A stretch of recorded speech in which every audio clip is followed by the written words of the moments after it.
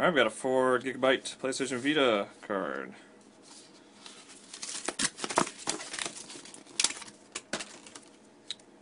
There you go. Unboxing video.